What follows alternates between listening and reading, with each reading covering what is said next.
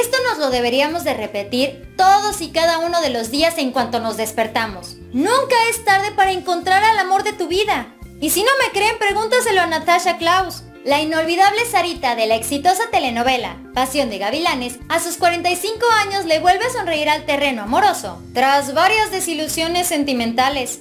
Esta actriz colombiana a finales del año pasado nos presentó a Daniel Gómez, un hombre quien ella aseguró llegó a su vida para demostrarle que sí la podían amar bien. En este video te vamos a dar los detalles exclusivos de cómo la actriz va a dar el siguiente paso con su pareja. En definitiva no te puedes perder de este contenido. Hola, ¿cómo están? Bienvenidos a Famosos de Cerca.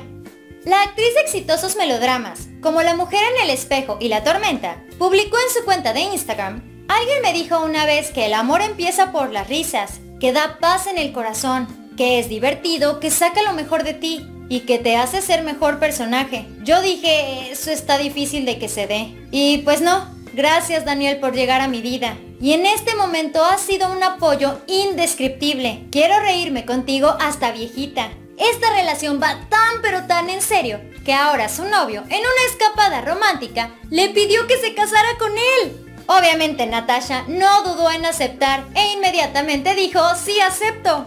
Así que prepara tu mejor vestido porque pronto habrá pachanga. La actriz y su futuro esposo parece que están hechos el uno para el otro.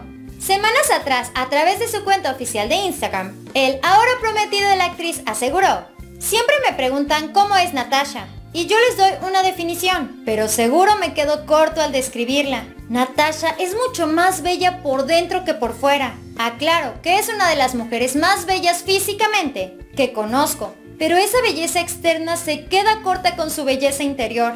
Mientras que Daniel ya es papá de una niña, esa inolvidable Sarita Elizondo tiene dos hijas ya, fruto de sus dos matrimonios anteriores, el último con un primo suyo, cuya historia de amor generó demasiadísima controversia. Más que nada por el vínculo familiar que existía entre Natasha y su primo Marcelo. Actualmente Natasha no puede estar más feliz. La relación de pareja que está construyendo, por supuesto que es aprobada por sus dos hijas, ya que ella por fin parece que está con el verdadero amor de su vida.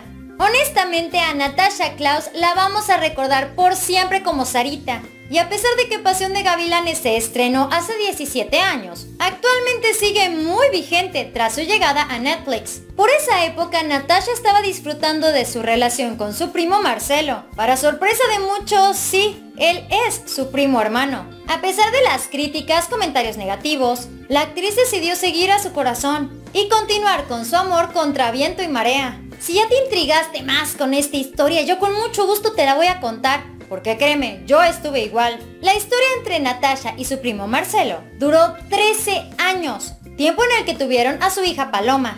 A pesar de que ellos se separaron para 2013, Natasha conserva un hermoso recuerdo con su primo hermano. La cosa es que Natasha nunca se crió con él. Él vivía en Uruguay y ella en Colombia, por lo cual Natasha nunca lo vio como primo.